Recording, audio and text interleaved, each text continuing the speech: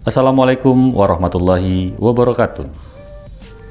Ananda sekalian, pada kesempatan kali ini kita akan membahas alur pelaksanaan ujian penilaian akhir semester ganjil 2022. Sebelum mengikuti ujian, pastikan Ananda telah menginstal aplikasi CBT Man 2 model Medan. Untuk HP, harus menggunakan bertipe Android dan menggunakan aplikasi Examro CBT Man 2 model Medan. Untuk laptop, harus berbasis Windows 10 dan menggunakan aplikasi Save Exam Browser. Mari kita mulai ujiannya. Pada langkah awal, Ananda harus membuka aplikasi Examro CBT Man 2 model Medan. Setelah masuk ke aplikasi Examro CBT Man 2 model Medan, Ananda harus memilih menu masuk ujian. Menu tersebut terletak pada urutan ketiga dari kiri. Ananda akan langsung diarahkan ke halaman login ujian. Pada halaman tersebut, Ananda harus memasukkan username dan password sesuai dengan yang ada di kartu peserta ujian masing-masing.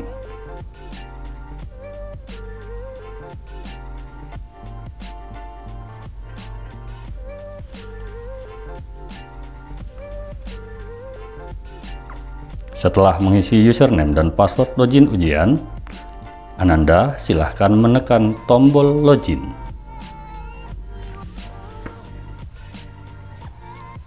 Setelah Ananda berhasil login, Ananda langsung dihadapkan ke halaman pengumuman.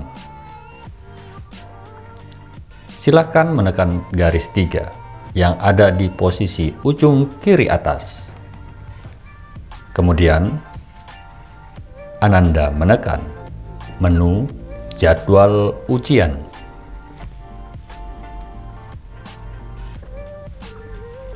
Setelah itu, Pilihlah mata pelajaran ujian yang sedang aktif. Dengan menekan klik mulai ujian.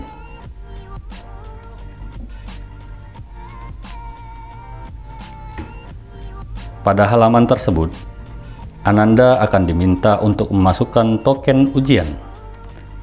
Dalam hal ini, pengawas ruangan akan menuliskan token ujian di papan tulis. Token ujian berupa 6 huruf kapital alfabet.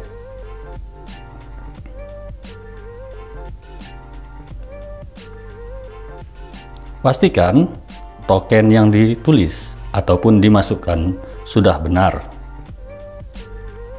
Kemudian, silahkan Ananda menekan tombol mulai tes.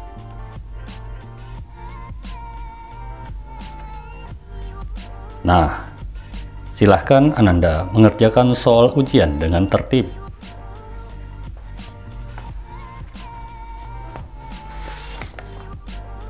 Jika Ananda ingin melompati soal, Ananda bisa menekan tombol daftar soal yang berada di bawah timer ujian.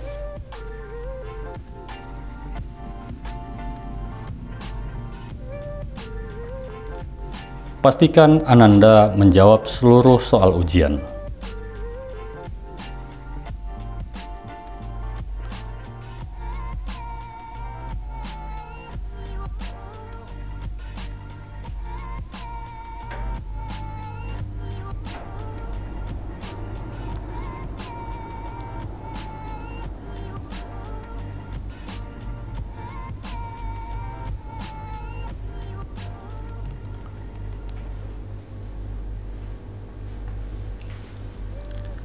Harus diingat, Ananda menekan pilihan A, B, C, D atau E untuk menjawab tiap soal yang muncul pada aplikasi tersebut.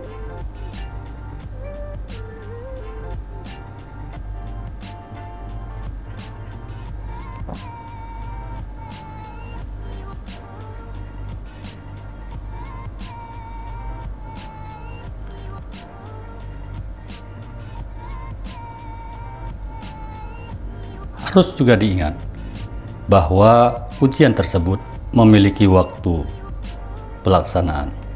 Jangan sampai Ananda tidak menyelesaikan ujian tersebut sesuai dengan waktu yang telah ditetapkan.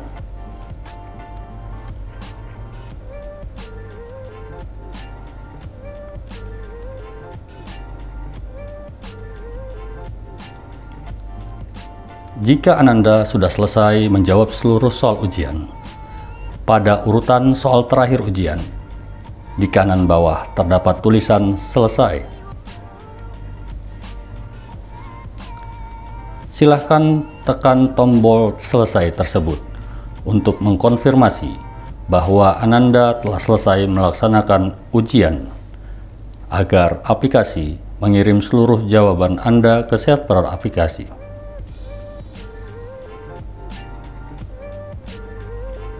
Setelah itu, akan muncul tampilan apakah kamu yakin telah selesai? Pastikan telah menyelesaikan semua dengan benar. Ananda harap menekan tombol iya. Setelah itu, Ananda akan diarahkan kembali ke halaman pengumuman. Ananda dipersilahkan keluar dari aplikasi ujian dengan menekan foto profil Ananda yang ada di pojok kanan atas. Lalu tekan keluar.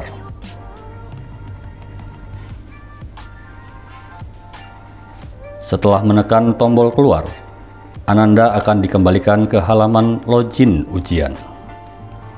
Pada halaman ini, Ananda sudah diperbolehkan untuk keluar dari aplikasi GBT Man 2 model Medan. Untuk keluar dari aplikasi GBT Man 2 model Medan, Ananda dapat menekan tombol plus yang ada di pojok kanan bawah aplikasi. Lalu tekan tombol exit.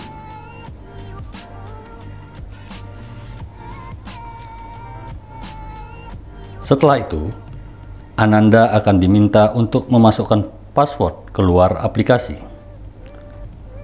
Passwordnya adalah Selesai ujian. Ingat, seluruhnya huruf kecil tanpa spasi. Silahkan tekan tombol OK. Selamat, Ananda telah selesai melaksanakan ujian. Semoga bermanfaat. Assalamualaikum warahmatullahi wabarakatuh.